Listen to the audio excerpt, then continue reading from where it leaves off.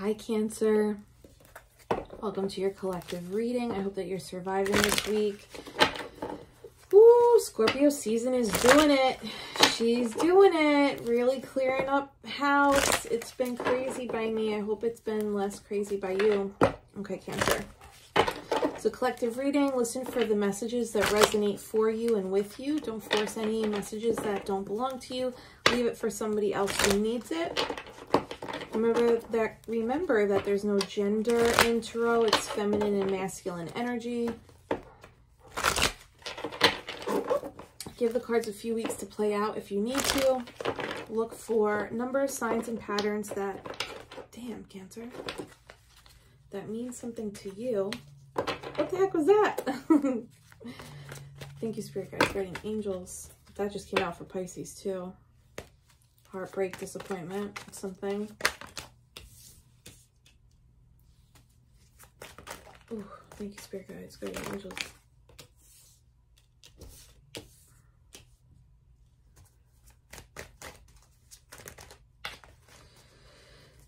Thank you, Spirit Guides, Guardian Angels, Ancestors, Archangel Michael for helping me pull cards for Pisces. What? Pisces, sorry, Cancer. What insights does Cancer need? Whoa. Okay, sexy.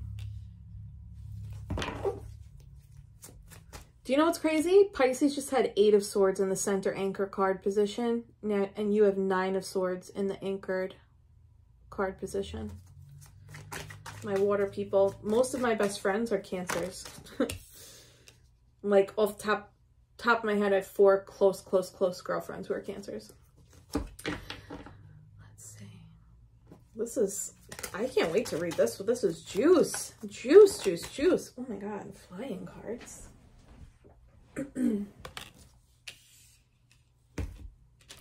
juicy, juicy.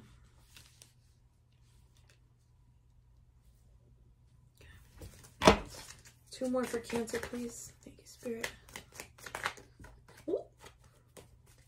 Too many. That was the moon, though. That's your card, Cancer. Too many. High Priestess, though. She keeps coming out. One more. Thank you, Spirit, guys, guardian angels, ancestors, Archangel Michael.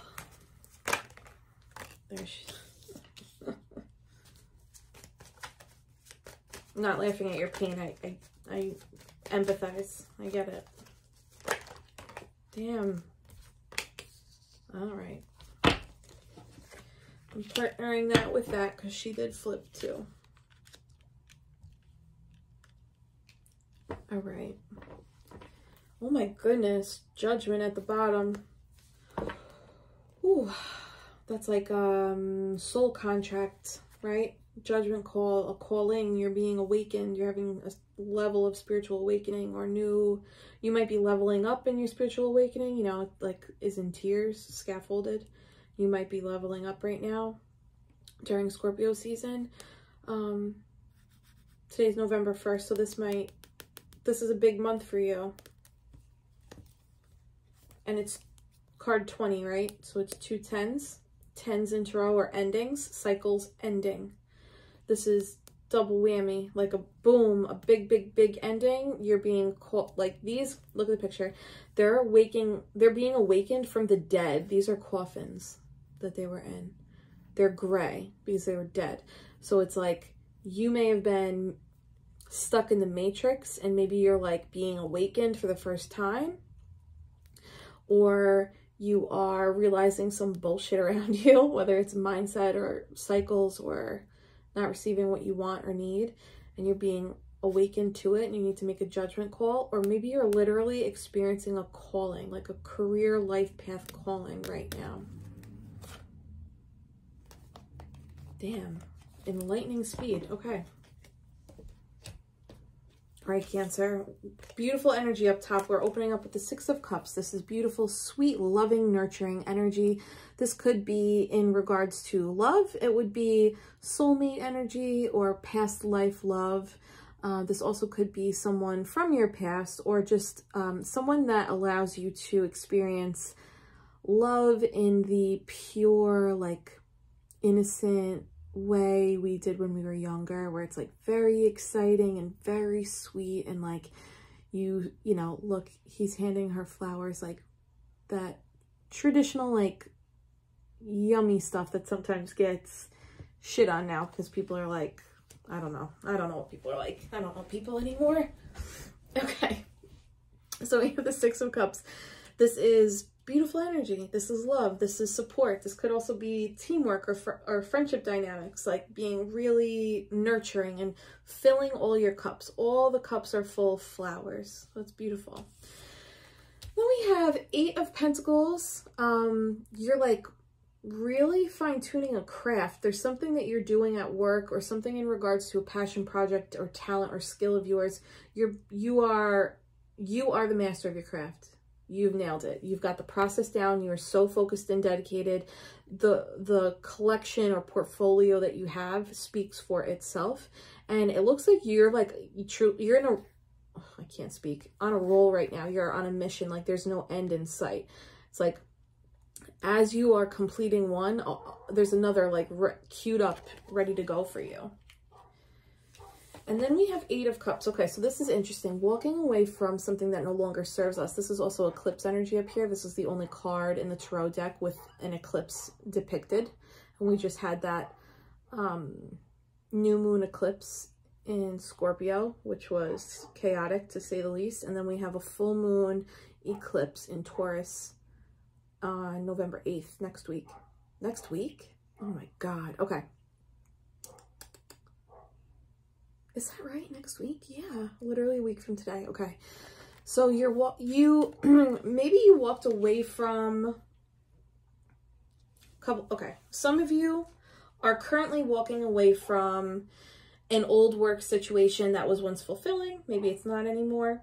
You could be walking away from a partnership, a collaboration, a friendship or a romantic partnership with with someone through work or through work ventures. It could be volunteer efforts, anything organized where like you are reporting to a subordinate for somebody like part of a greater team. You could be walking away from that or you could be in this beautiful energy because you walked away from something.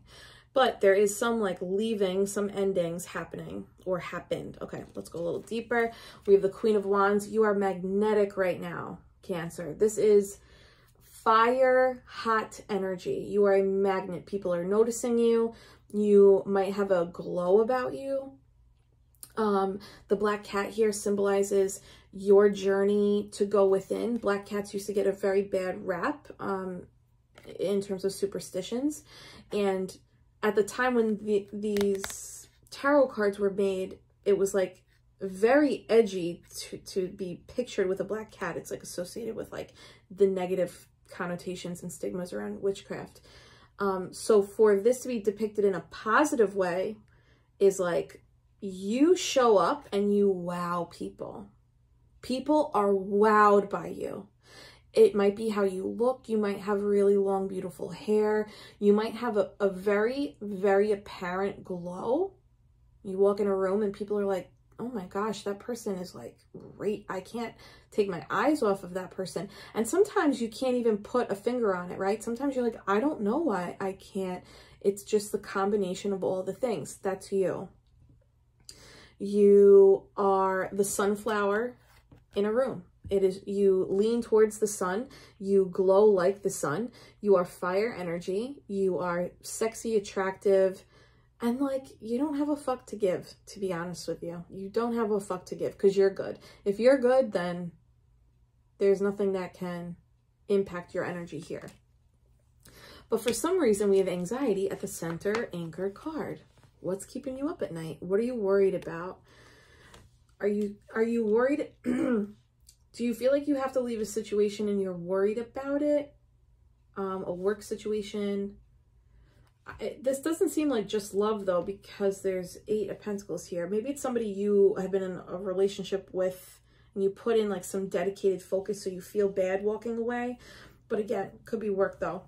Because we have ten of pentacles here. This is like bada bing energy. You got money in the bank.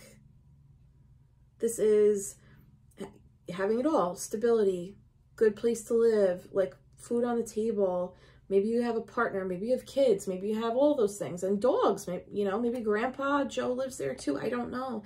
But this is like whatever everything is, this is in your energy. So like, what is this? This is very similar to Pisces reading. Then we have Three of Cups celebrating.